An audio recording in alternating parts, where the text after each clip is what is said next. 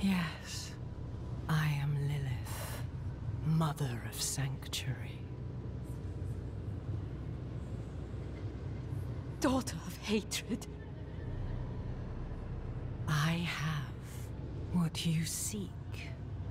You hunger for knowledge. You dragged your child all over Sanctuary in pursuit of it.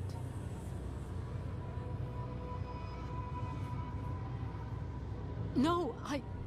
I taught her how to survive.